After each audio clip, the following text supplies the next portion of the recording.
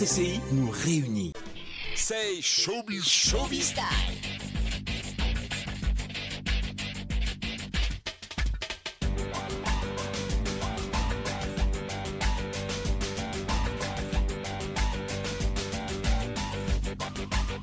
RTCI.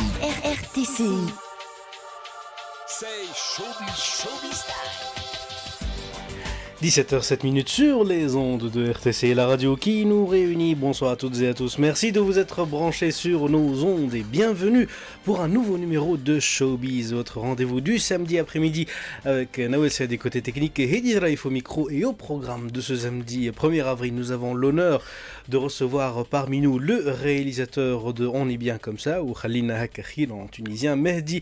Bonsoir Mehdi. Bonsoir. Merci d'être des nôtres. Donc, euh, vous nous faites l'honneur et le plaisir d'être des nôtres ce soir. On va parler euh, de votre film qui fait la tournée des festivals internationaux. On va citer quelques-uns le cinéma de Montpellier, Dubai International Film Festival, le Festival international de Clermont-Ferrand, le FESPACO, le Luxor African Film Festival en Égypte, les Beirut Cinema Days, les Arab Cinema Days. Vous l'aurez compris, ce soir, c'est un plateau placé sous le signe du cinéma qu'on vous propose sur RTC. Pour le podcast, la page officielle de Facebook, donc, euh, et pour le stream player, le Et pour nous appeler, vous avez le 71 840 000 qui est à votre disposition. Le tout avec de la bonne musique euh, ce soir, comme tous les jours sur les ondes de RTCI. Bienvenue, c'est Showbiz.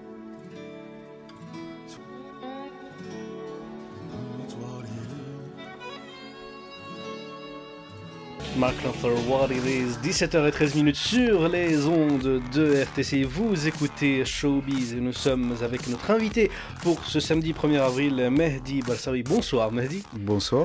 Merci d'avoir accepté l'invitation de RTCI. C'est un plaisir de vous avoir parmi nous ici au studio 1. Euh, écoutez, tout le plaisir est pour moi. Merci de m'avoir invité, de promouvoir le court métrage, ça fait plaisir.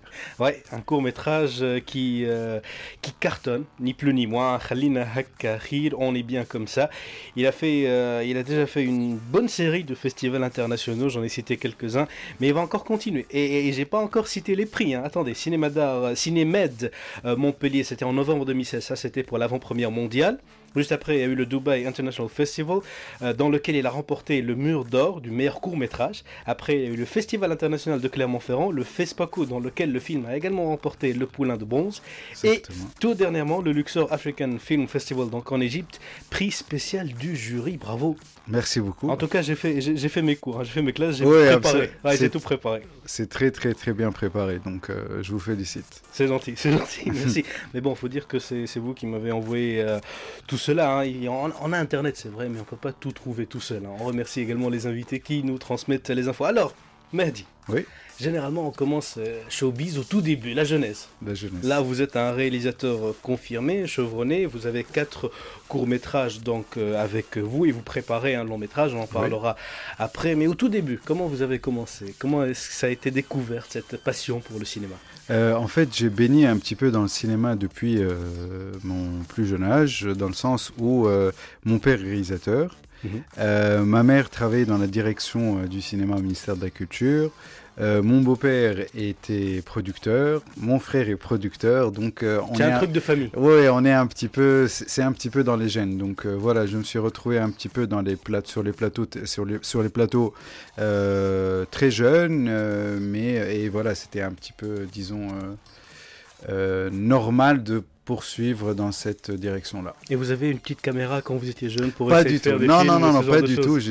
J'étais, et je suis encore très timide dans le sens où euh, ma toute première expérience, mon tout premier, euh, disons, rapport avec le cinéma, ça a été, je pense que je devais avoir 7 ou 8 ans et euh, j'ai fait, euh, j'ai été figurant sur le film euh, Le silence du palais de Moufi Atletli. Mhm.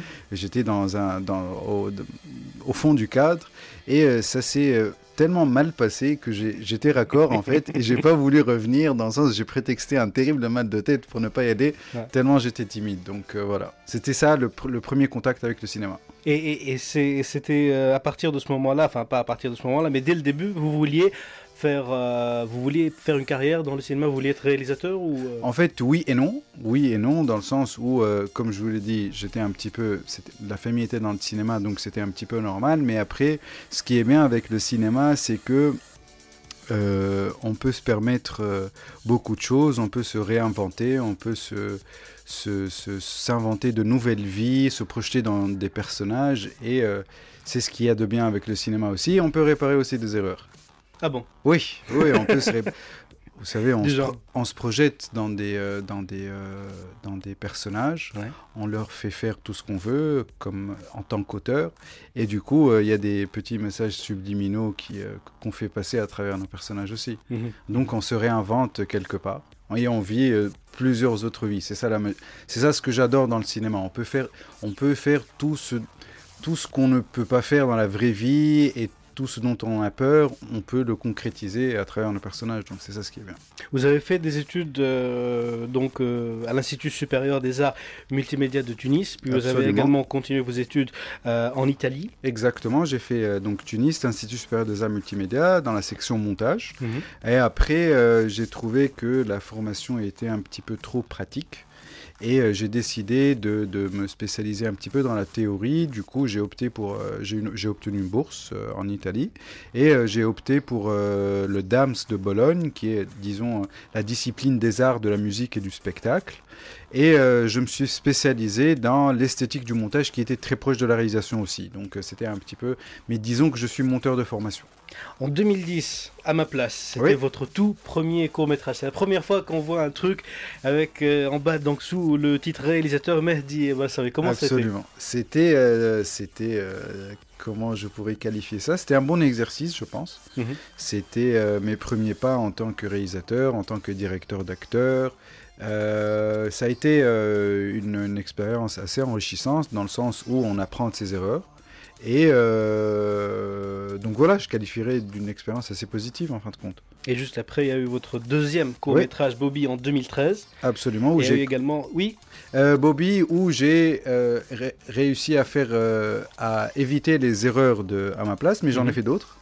Donc du coup, moi je pense que c'est un, on apprend toujours de à chaque erreurs. Expérience, vous apprenez. Oui, à chaque, à chaque fois, on essaie de réparer un truc et on laisse d'autres trucs sur le chemin et on essaye de, en fin de compte, on évolue, on mûrit à chaque fois, même si euh, on fait toujours des erreurs. Hein. Je pense que sinon on n'apprendrait pas et on n'avancerait pas surtout. Il y avait également un autre euh, court métrage, votre troisième, c'était 35 mm en 2016, et euh, vous l'avez un peu créé dans le cadre du cinquantenaire des JCC. C'était un court métrage un peu particulier. Oui, c'est un court métrage assez particulier où vous pouvez où vous pouvez découvrir Mounen Nordin dans un dans un registre qui ne lui est pas très très euh, habituel. Exactement, dans un registre pas habituel. Et euh, en fait, les deux courts-métrages, que ce soit Khalina Hakakhir et 35 mm, passent dans la série maintenant euh, Qsayr Hayr qui sont dans les, dans les salles. Et il a été, 35 mm a été réalisé dans le cadre des JCC. En fait, pour le c'était la 50e édition en 2016 des JCC. Mhm. Il y a eu un appel, de, il y a eu un appel à, à, à film. Euh, pour euh, la réalisation d'une série qui s'appelait euh, Chacun raconte ses JCC.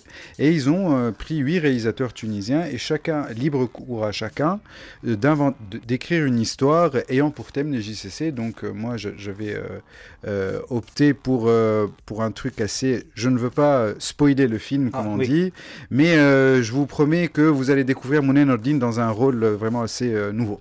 On peut le voir le film Oui, oui, absolument. On peut voir 35 euh, mm et euh, Khalina Hakkahir, euh, ainsi qu'une série d'autres courts-métrages, en salle maintenant sur le Grand Tunisme, c'est à Bizert, dans la nouvelle édition de Qsayr Hayr, c'est dans les salles, dans le centre-ville, en banlieue, c'est un petit peu partout.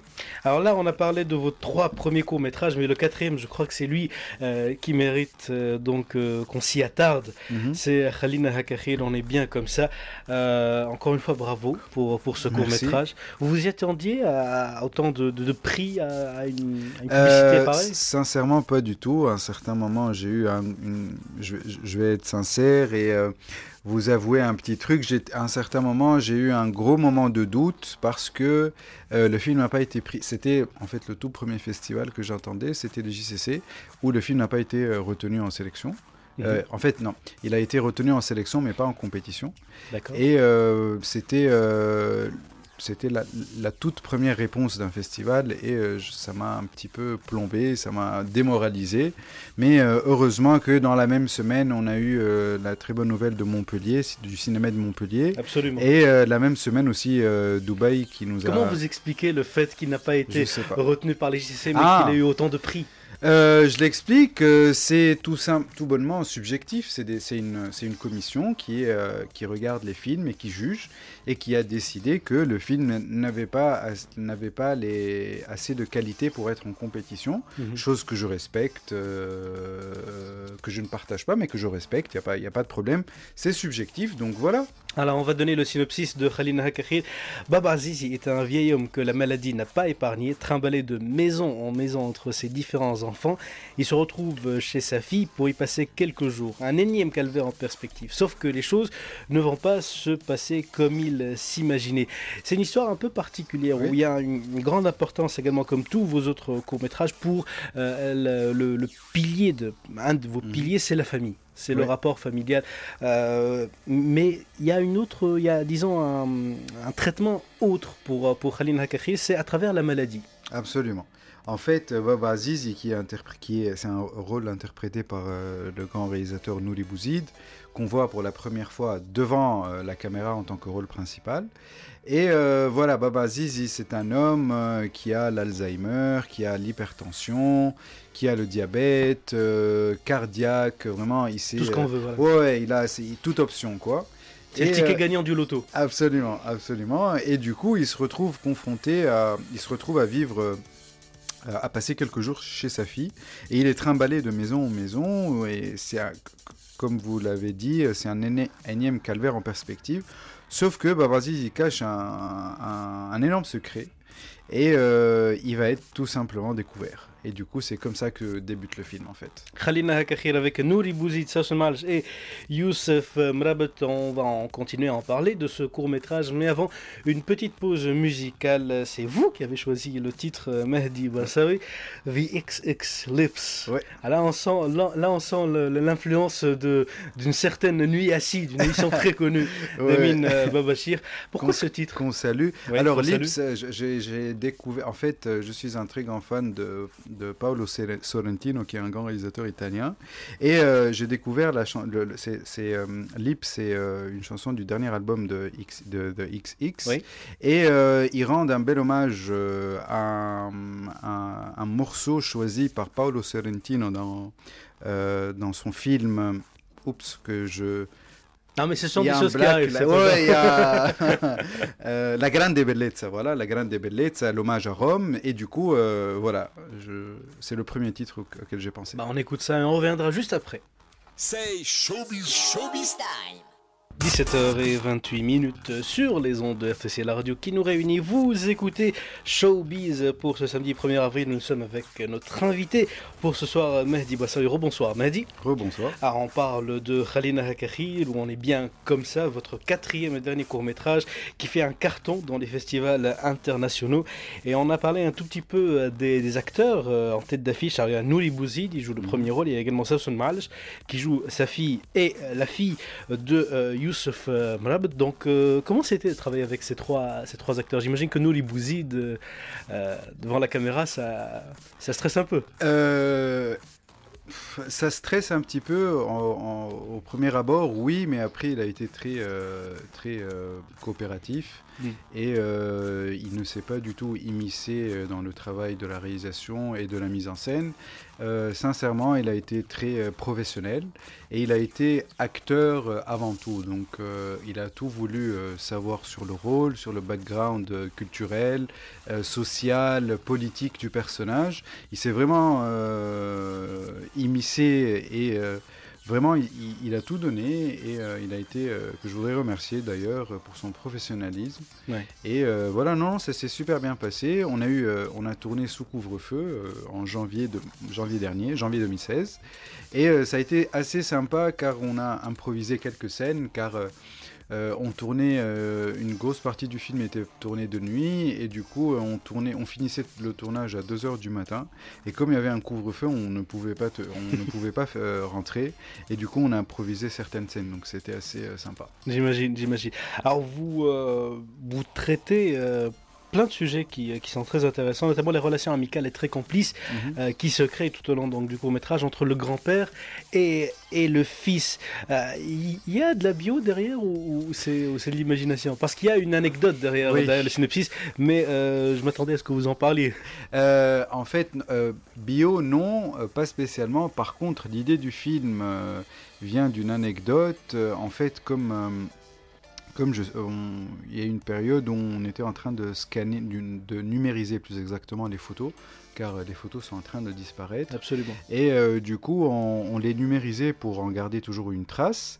Et euh, j'étais avec ma mère et je tombe sur une photo d'une de, de son de sa grand-mère à elle, donc mon Votre arrière-grand-mère mon arrière-grand-mère maternelle et ma mère m'expliquait que euh, le jour de sa mort, euh, ils avaient découvert des olives noires euh, dans sa, cachées dans sa robe de chambre. Et comme euh, la bonne femme était hyper tendue, donc euh, c'est très probablement ce qui l'a tué. Donc on était dans les années 60 et il n'y avait pas tout ce, tout, tout ce traitement pour l'hypertension. Et du coup, probablement c'est ce qui l'a tué. Et du coup, ça a été, ça a été un petit peu l'idée de départ. C'était le déclic pour votre scénario. Absolument, c'était le déclic. euh, L'idée du film était née. Et le scénario, l'écriture, elle a pris combien de temps? Euh, ça a été assez rapide, euh, vu que en fait je n'écris pas tout. Généralement, je n'écris pas tout de suite. Je laisse mûrir, je laisse, euh, Mhm. je, je, je, je, je garde un petit peu les idées avec moi. Et après, quand j'ai une, une structure assez claire, je ponds le, le, le- le premier jet, le premier draft. Ça a été assez rapide. écoutez, j'ai écrit le scénario, je pense, en novembre et en janvier, on l'avait tourné. Donc ça a été assez, assez rapide. Et, et- et- et- enfin, il y a une question qu'on se pose, c'est pourquoi est-ce que ça vous tient euh, autant à cœur ces, cette thématique euh, du rapport à la famille, des déchirures entre les parents et, et les enfants, ces, ces questions générationnelles Euh, en fait, sincèrement, je ne sais pas. Euh, mais je pense que la famille reste une source inépuisable d'inspiration. Dans Mhm. le sens où euh, c'est comme un théâtre c'est comme un cinéma à ciel ouvert. Et chaque famille, chaque être humain, chaque personne est confrontée à ce genre de situation. Donc euh, voilà, c'est ce qui me plaît dans le cinéma, c'est de c'est finalement de raconter des histoires et de faire parvenir des émotions. Donc euh, l'idéal, c'est euh, que cette émotion puisse arriver au spectateur et euh, qu'un spectateur qui soit, je sais pas moi, norvégien, euh, danois, euh, uruguayen ou moldave, qu'il arrive à se projeter dans cette histoire qui soit finalement très tuniso-tunisienne. Justement, il y a une part d'universalité, d'où d'où les prix que vous avez remportés un peu partout dans le monde, Dubaï, donc Égypte. Il a également fait la tournée donc à Montpellier, à Clermont-Ferrand, au Liban, en Norvège. Il va continuer encore. Oui, il. Et, euh, il continue. Là, la semaine prochaine, il va être, euh, je pense, dans trois pays différents. Il va être au Maroc, il va être en Norvège et il va être euh, au Canada. Mhm. Donc, euh, il fait un petit peu la, la- la tournée. Ça me fait vraiment plaisir. C'est une consécration pour vous? Oui, oui, en- oui, absolument. C'est en Envoie fait, la timidité. hein. on- en fait, on fait, le, on fait du cinéma pour ça, pour, pour faire montrer nos films, mais ça me fait vraiment plaisir que le film soit accueilli positivement, qu'il soit sélectionné, et cerise sur le gâteau qu'il obtienne des prix, donc euh, c'est génial, Absolument. je suis vraiment très content.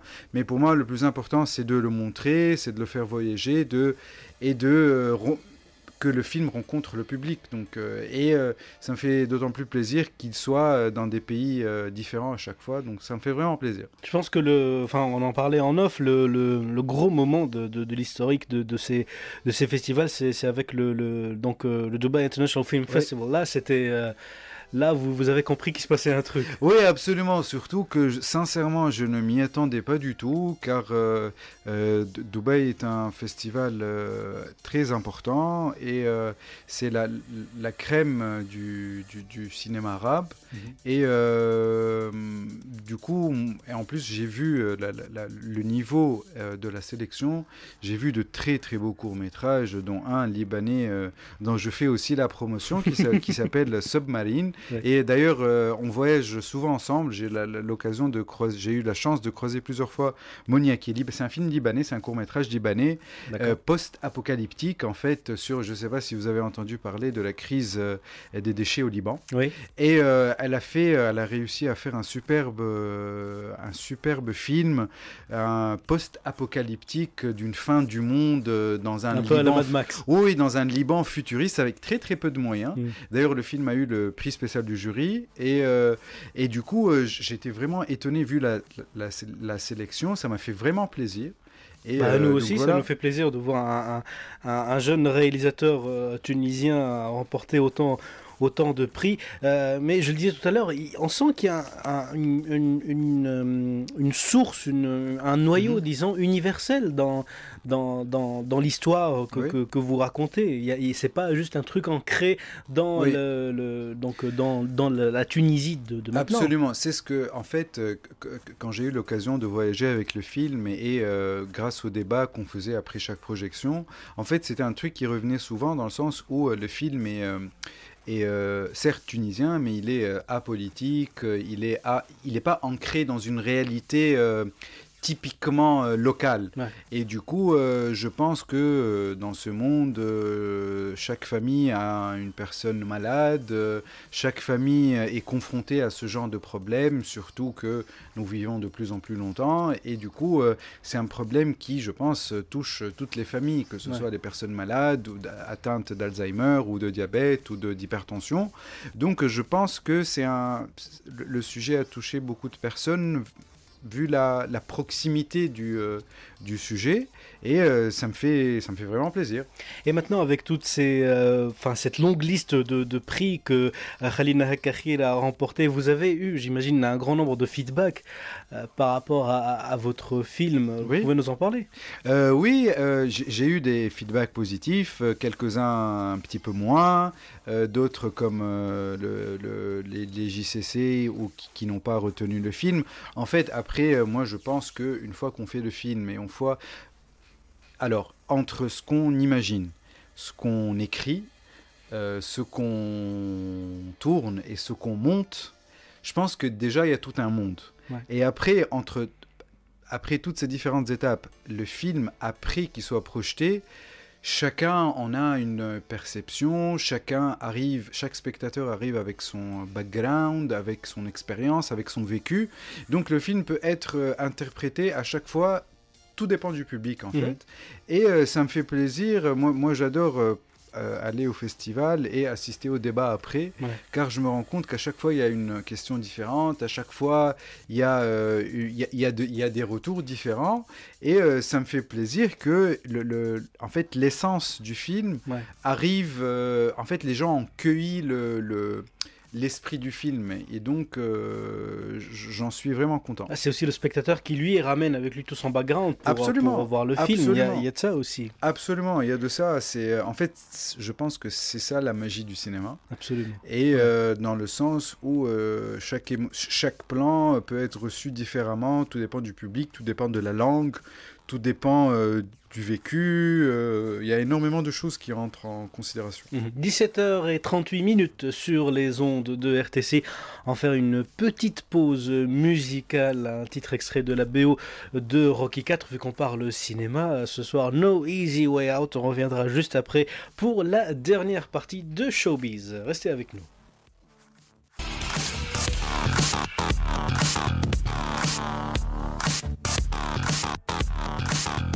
Bye. 17h42 minutes sur les ondes de RTC. Vous écoutez Showbiz, toujours avec la même équipe, la gentille négociée des côtés techniques et du micro. Et nous sommes accompagnés de Mehdi Balsaoui. Rebonsoir Mehdi. Bonsoir. Alors on parle de Khalina Hakahir.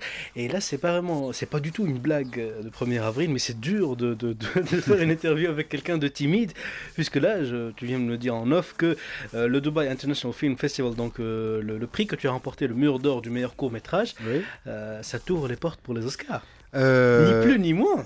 oui, mais dans le sens où euh, les Oscars par rapport au court métrage, c'est un petit peu différent euh, que les longs métrages, dans le mhm. sens où les pays ne peuvent pas soumettre directement euh, les courts métrages, mais il y a des festivals de catégorie A, dont fait partie le festival de Dubaï, et en ayant remporté le, le, Grand Prix, je peux candidater pour l'Oscar du meilleur court métrage. Ceci ne veut en aucun cas dire que euh, je ferai partie des non mais ça c'est la euh, partie modestie. Non mais non non non, non non il faut dire non non il faut dire les choses telles qu'elles sont dans le sens où euh, sur les, les trentaines de films qui vont être soutenus ils vont en garder cinq et on aura la chance de, de, de faire on, a la chance de faire partie de, de ces 30 films donc on croise les doigts pour qu'ils pour qu'ils le retiennent mais bon euh, le fait d'y être, c'est déjà énorme. Donc euh, voilà, si, si ça vient, tant mieux. Si ça ne, si ça ne vient pas, c'est en aucun cas je ne serai déçu ou, euh, bah, déjà, il va faire la tournée des festivals pour une bonne période, tout 2017, j'imagine, toute l'année 2017. J'espère, j'espère. Je, lui souhaite euh, une longue carrière. Euh, moi, le plus important pour moi, c'est euh, maintenant, en fait, ça sort un petit peu de. Le, film sort de. Je ne sais pas si ça se dit sort de mes mains. Je sais pas. Un peu. Je, ne sais pas. mais voilà, là, il fait, il comment, il entame sa, sa carrière et il va voyager. Je vais essayer de l'accompagner tant que je pourrai et voilà. Mais justement, tu pourras pas. Là, on va se tutoyer, là, on est arrivé à la fin. Euh, tu vas pas l'accompagner pour, pour les films à venir, vu que tu es en train de préparer oui. un long métrage. Est-ce qu'on peut en parler? Là, euh, c'est oui, on peut. Là, c'est la cour des grands, hein. parce qu'il y a déjà eu quatre courts métrages. Si on peut les récolter, là, les rassembler tous ensemble, ça fait un, oui, super ça long peut, métrage. Oui, ça peut faire un, déjà un long métrage. Donc le long métrage. Euh, le long métrage, oui, c'est euh, on est en phase de développement avec mon producteur Habib Ate qui nous écoute normalement. Qu'on salue. absolument. donc voilà, ça fait deux ans et demi, trois ans euh, que, je le, que je suis en développement. Ça prend un petit peu de temps. Et euh, sincèrement, euh, j'ai pas envie de, de, rater le coche dans le sens où ça va être mon premier long métrage. Il est déjà très difficile d'arriver à, à, faire le premier long. Et c'est pour c'est une des raisons qui fait que nous voulons le faire bien. Du coup, on est en recherche de financement là. Et euh, normalement, si tout se passe bien, on devrait euh, envisager le tournage euh, durant les premiers mois de 2018. Bah, j'imagine avec une carte de visite pareil, avec, avec les prix, rien que pour, pour ton dernier court métrage, ça sera pas difficile de, de trouver le financement. Non, c'est toujours. Non, non, en fait, c'est toujours difficile. Bon, ça, ça fait c'est des atouts en plus euh, d'avoir euh, des courts-métrages qui ont euh, circulé dans des festivals. Mais après, je pense que la base, la première base de jugement, c'est le scénario. C'est le. Après, il y a l'équipe Scénario qui est prêt. oui, oui, qui est prêt. Bon, un scénario, je pense, il n'est jamais prêt jusqu'à la veille du tournage, dans le sens où c'est en perpétuelle évolution. Mhm. Mais on a une version assez représentative maintenant du projet. c'est pour ça qu'on a entamé la, la recherche des financements, même si l'écriture continue et va, et va continuer. Euh, donc voilà. Vous êtes quel genre de réalisateur sur le, sur le tournage Mehdi Barsawi euh, Je suis un peu maniaque. Pas, pas, pas maniaque. Je suis Tarantino ou... Euh non, non, non, pas du tout. Non, non, non, je sais pas, j'ai pas cette prétention. Mais euh, je, je, suis assez, je suis quelqu'un d'assez rangé. Je, je, suis assez méthodique. Mhm. Donc je pense un petit peu que ça se reflète dans le, sur le tournage. Mais après, il faut dire que on m'a dit, en fait, c'est Nouri Bouzid qui me l'a dit, que je ressens que, que j'avais une technique assez euh, à l'italienne dans le sens où je parle durant les prises en fait. Mhm. Euh, je, me mets d'accord avec mon, euh, mon ingénieur son, moi Shir que je salue aussi, et en fait on, je parle durant les prises dans le sens où je, dirige les acteurs alors que la, la, caméra continue de tourner. On sent que vous êtes très inspiré du cinéma italien justement. Vous en parlez là et, tout à l'heure vous, vous, citiez, vous citiez donc le, cinéma italien. Vous avez d'autres phares pour, pour, pour, vos projets ou... Euh? Euh, En fait, bon, le cinéma italien, je pense que ce n'est pas, un petit peu par hasard car euh, ma mère est à moitié italienne, donc il y a une influence, je pense, génétique. Mais, mais bon, après pour le long, ça va être un truc euh, assez différent, c'est dans un style différent, c'est une thématique complètement différente, même si ça reste euh, euh, autour de la famille. Mais c'est un genre qui est différent et c'est un petit, disons que c'est très différent dans le sens où c'est, ça va être un thriller psychologique. autour, de, autour d'un père euh, qui va voir, euh, durant un séjour découverte dans le sud de la Tunisie en août 2011, tous ses repères, il va voir tous ses repères s'effondrer en fait. Et euh, donc voilà, c'est un film sur la, sur la filiation, sur la paternité, sur qu'est-ce qu'avoir des enfants, qu'est-ce que la biologie C'est un petit peu par rapport à bah, C'est un scoop ici sur RTC, euh, oui, c'est un, hein. c'est un petit peu un scoop. Euh, oui, c'est un petit peu un scoop. Et là, le tournage, donc, euh, vous prévoyez pour... Donc, tu prévois ça pour janvier pour janvier premier, on espère premier trimestre 2018, car on a une contrainte météorologique dans le sens où comme 90% du film se passe dans le sud de, la mm. Tunisie et on ne peut pas le tourner euh, durant l'été, donc euh, il va falloir le tourner ou l'hiver ou le printemps. Donc ça va être, disons, euh, on espère avant avril, vers avril 2000, premier trimestre 2018. Et euh, on le retrouvera dans les salles obscures vers. Euh, alors, alors là, non, non, aucune déjà idée. Se projette déjà. Exactement. Déjà qu'on se projette par rapport au tournage, c'est bien. J'espère qu'on y arrivera jusque-là. On fait tout pour, euh, même si le chemin reste encore très long. Euh, il faudra compter pas moins de 8-10 mois avant, donc euh, ça, prend, ça prend du temps de faire un film. Et vous n'avez pas essayé de voir avec euh, toute l'équipe donc du côté du ministère pour les financements?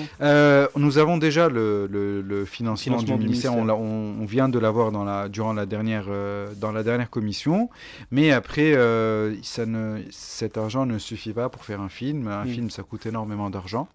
Et, et, du coup, avec nos partenaires étrangers, on est à la recherche de financement. Donc, euh, donc voilà.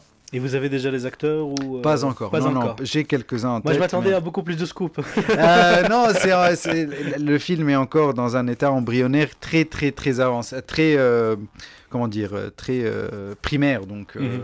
il est encore très très tôt, mais dans quelques mois, on sera fixé, je pense. Je rappelle donc votre film, euh, votre court-métrage, quatrième court-métrage, dernier court-métrage, Khalina Hakakhil.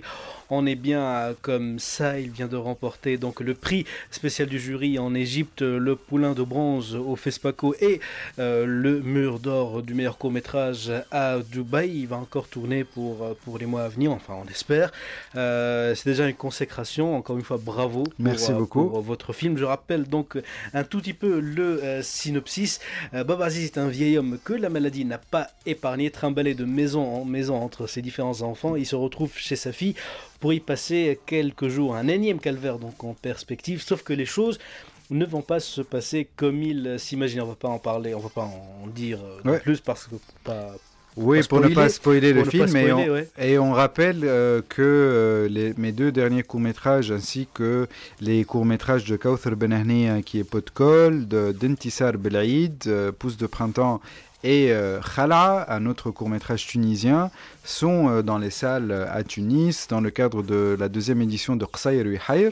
Donc ça fait plaisir. J'encourage le public à aller voir les films. D'abord, pour euh, aller au cinéma, changer un petit peu d'air et, et euh, Avec ça, ça nous change d'aller au cinéma. Absolument, et surtout encourager les courts métrages. D'ailleurs, je voudrais saluer l'initiative de Haka Distribution et euh, la, la, la le groupe de cinéma d'art, Kais Amal, que je salue euh, tout particulièrement.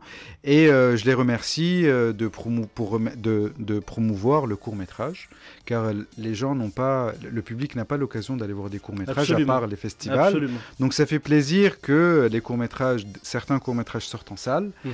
et ça, ça encourage des réalisateurs à en faire. Et, car qu'on le veuille ou pas, je rappelle que le court, c'est pas, en fait, c'est pas plusieurs personnes le considèrent comme un, comme un sous-genre. Comme un format mineur. Oui, oui, un format mineur, une sous-catégorie du long métrage, alors que c'est un format à part et un genre à part.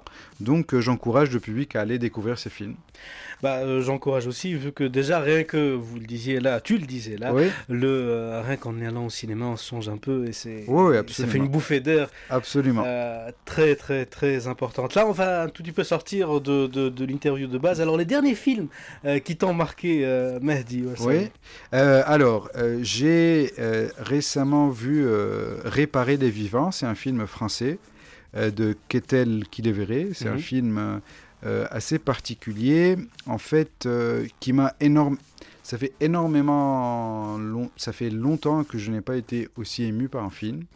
Et euh, c'est un film vraiment qui m'a bouleversé. Tu le conseilles? Euh, oui, absolument, je le conseille. C'est un film sur, euh, sur le don de soi, sur le don d'organes, et euh, c'est un film poignant. euh, assez bouleversant et c'est le genre de film en fait euh, même si euh, j'ai quelques petites réserves euh, et un petit ventre mou mais à un certain moment vers la fin du film il y a des scènes qui viennent et qui balayent toutes les réserves Ouais. et qui balayent tous les doutes euh, qu'on peut avoir et c'est le genre de film qui fait vraiment du bien euh, donc c'est un des. Hier j'ai vu le client de euh, d'Ashgar euh, Farhadi, Mhm. l'Iranien, le, le tout fraîchement oscarisé euh, Ouais. du, de l'Oscar du meilleur film étranger. C'est un film que je conseille aussi. Euh, en fait, moi, je suis assez euh, je- je- bon public, donc euh, je regarde euh, pas mal de films et, et, euh, j'encourage les gens, euh, indépendamment des retours et indépendamment des critiques, je- j'encourage les gens à, aller, à, à voir tous les films possibles. Ouais. Car euh, après, euh, tout dépend de chaque vécu et de chaque expérience. euh, donc voilà. Merci beaucoup, euh, Mehdi Balsaoui, d'avoir été des nôtres ici au studio 1 de RTCI pour Showbiz. On espère retrouver donc Khalina Hakakhir pour euh, vous voir, vous, euh, dans les Oscars pour euh, février 2018. On va voir. Pour la suite également des, des, des nombreux festivals auxquels, donc, dans lesquels va tourner Khalina Hakakhir, où on est bien comme ça. Il tourne euh, donc ces, ces jours-ci au cinéma donc du côté de Tunis. Renseignez-vous sur donc internet pour voir Oui. les dates de projection et les salles. Euh, le mot de la fin. Euh, vraiment, merci euh, de m'avoir invité. Ça fait plaisir qu'il y ait. Qu'il y ait des gens qui encouragent le court métrage, À vraiment. tout plaisir est pour nous. Non, vraiment, ça fait, euh, ça fait vraiment plaisir car, euh, encore une fois, c'est pas un format mineur, c'est pas un sous-genre. Donc, euh, c'est important qu'on en parle. Et euh, merci, vraiment, merci beaucoup. Merci beaucoup, merci à vous Mehdi Balso et merci également à Nawel Saidi pour sa précieuse collaboration technique et puis merci à vous chers auditeurs qui étiez en notre compagnie depuis 17h dans un peu moins de 5 minutes rendez-vous avec les brèves de 18h juste après le top 30 signé Nola Colt pour le podcast et les photos euh, de cette interview de Showbiz avec Mehdi Balso vous les retrouvez sur la page Facebook de RTC excellent début de soirée avec vous RTCI, RRTCI. c'est Showbiz, Showbiz Time.